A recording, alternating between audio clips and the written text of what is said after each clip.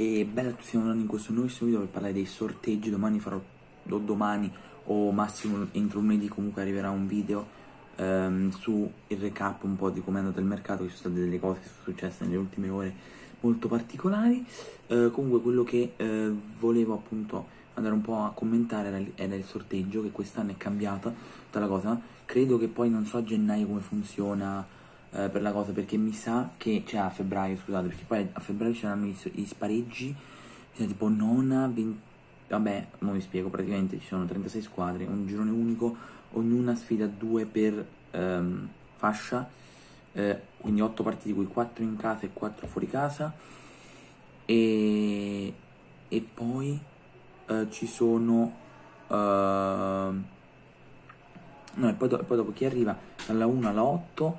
fa il uh, cioè va, va, appunto a fare gli ottavi direttamente quindi per un mese tipo non gioca all'Europa League no forse per no mi sembra un mese e mezzo tipo mentre chi no si ritroverà a giocare eh, l'Europa League a, a, a, febbraio che sono diciamo quelli che prima erano i sedicesimi che poi sono diventati cioè prima erano tipo i sedicesimi poi sono diventati eh, degli spareggi che praticamente chi arrivava secondo nel girone in uh, Europa League e in Conference, perché in Champions era diverso, andava a fare questo turno in più e poi dopo c'erano gli ottavi, quarti, semifinale e finale. Um, quest'anno praticamente è lo stesso, solo che, solo che è, cioè, è, è, è, la stessa più o meno cosa, cioè sem semplicemente quindi quelli che sono arrivati, però mentre l'anno scorso era chi arriva secondo nel girone va a scontrarsi contro quelli che sono arrivati terze nella competizione superiore, um, quest'anno è chi è arrivato dal nono al venticinquesimo posto va a giocarsi la la, questo spareggio barra sedicesimo e chi invece non, non ce l'ha fatta è arrivato dal venticinquesimo al trentaseiesimo posto va a casa. Quindi non sono più le retrocessioni da Champions, Europa League ed Europa League a Conference che in realtà per qualche squadra potrebbe essere anche un male perché per dire delle squadre potevano farsi il ragionamento gli anni scorsi di dire eh, cioè arrivo terza perché nel mio girone posso lottarmela più con la quarta e magari provare ad arrivare seconda, ma è difficile. E, e con la prima non ci, non, ci, non ci, provo proprio. E poi magari in Europa League che ci sono squadre un pochino più basse di livello, oppure in conference, se guardiamo l'Europa League o la Champions. Eh, e magari posso provare a vincermi quella competizione sotto. Infatti, non, infatti mi ricordo una delle ultime che l'ho fatto, no, forse stato pure il Sevilla, era sceso, sì. Il Sevilla e poi l'Atletico Madrid l'aveva fatto ancora l'anno prima, eh sì, l'anno prima, nel 2018 quando perse contro i noi gironi che arrivò terzo, il Chelsea secondo e noi, e noi primi nella stagione 17-18, loro andarono in Europa League e vinsero l'Europa League. E, ma diverse squadre hanno fatto pure la, la stessa, eh, lo stesso Sevilla, l'ha fatto più volte, quindi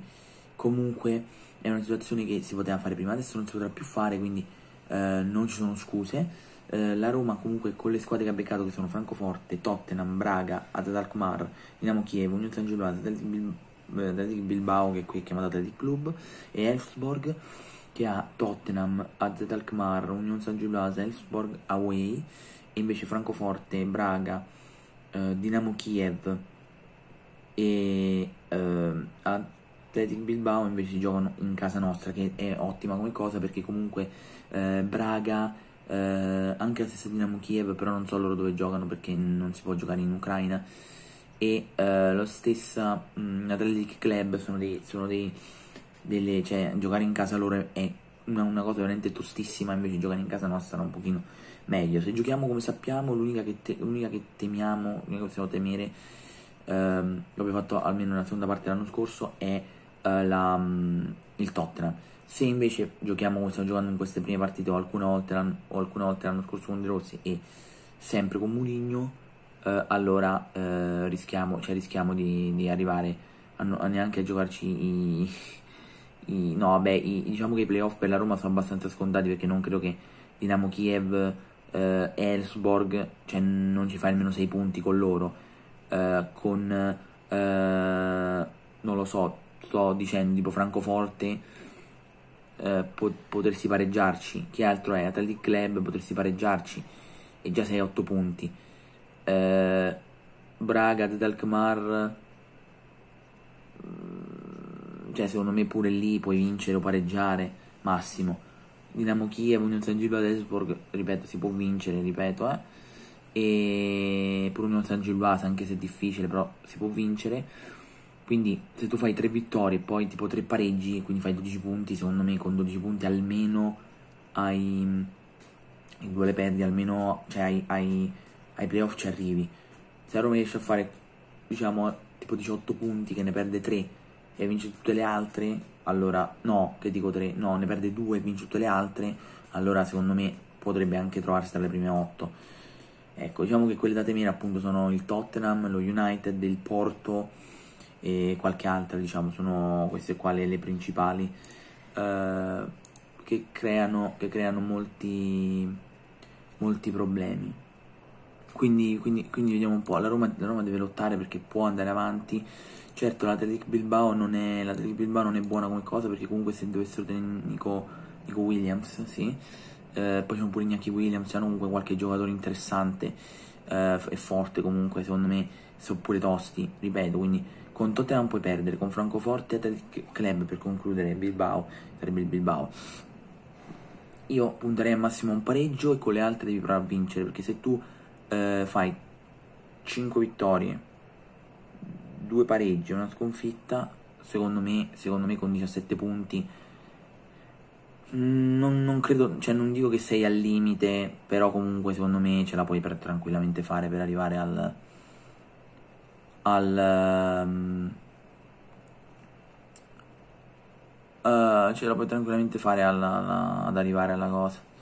E um, niente, comunque quello che, quello che, posso dire è questo, insomma, quindi la Roma ce la potrebbe fare, ma deve ricominciare a giocare come sta. Per quanto riguarda invece la Lazio, ha beccato il Porto, l'Ajax, la Real Sociedad, Braga, Ludo Gorez, uh, Dinamo Kiev, Nizza e Twente, vabbè, pure loro hanno beccato l'unica che abbiamo in comune, no, le uniche due sono Dinamo Kiev e Braga. Eh, la Lazio è andata un po' meglio, diciamo che, la, diciamo che a parte il Porto, però l'Ajax è ricostruzione, però pure la, pure la Lazio bisogna vedere. La Sociedad è sempre tosta, Braga è tosta, Ludo Gorez non da non sottovalutare, Dinamo Kiev, vabbè, ce la possono fare, Nizza da non sottovalutare e Twente, quindi comunque loro, eh, secondo me con Twente, Dinamo Kiev, Ludo Gorez, queste tre almeno vincono sicuro. Poi bisogna vedere l'Ajax come sta messo, potrebbe fare una quarta vittoria, con Porto secondo me perdono, Real Sociedad, Braga inizia se la giocano, quindi è un po' da vedere. E, diciamo, diciamo, loro è andata più equilibrata come cosa, noi invece abbiamo tipo super forte, come può essere, come può essere appunto il Tottenham, Athletic Bilbao, eh, tutto invece loro hanno, hanno, hanno a parte tipo due o tre sono più o meno tutte lì su, su quel livello. E quindi per la Lazio, cioè per per quanto può essere, può essere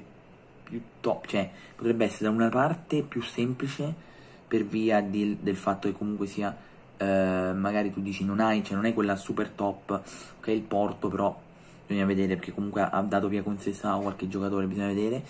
e uh, le altre alla fine sono tutte più o meno sullo stesso livello, quindi la Lazio se la può giocare. Forse un po' meglio quella dell'anno scorso, quella che è arrivata seconda, però potrebbe giocarsela tranquillamente. Invece a Roma c'è tipo so, Athletic Club, Bilbao, e eh sì, Club Bilbao, uh, Eintracht e Tottenham che sono tipo sopra un livello e poi tutte le altre sotto, quindi un po' da vedere. Però la Roma si trasforma quando gioca in Europa, quindi uh, per, questo, per questo io vedrei meglio la Roma del, della Lazio sono due squadre che comunque possono puntare almeno, almeno agli spareggi devono puntare tutte e due. Eh, la Roma spererei che arriva almeno cioè che arriva già subito agli ottavi perché converrebbe per cioè, avere un turno in meno visto che tutti gli ultimi anni abbiamo sempre fatto sempre fatto quel turno in più e sperare che vada tutto bene insomma. E vediamo un po' gli ultimi colpi che stanno arrivando. Domani, domani o comunque massimo lunedì vi faccio avere il video con, con il mio pensiero sul mercato questo è quello che penso. Potete vedere cosa ne pensate commentate, iscriverci a un prossimo video sempre sempre sempre forza Roma dai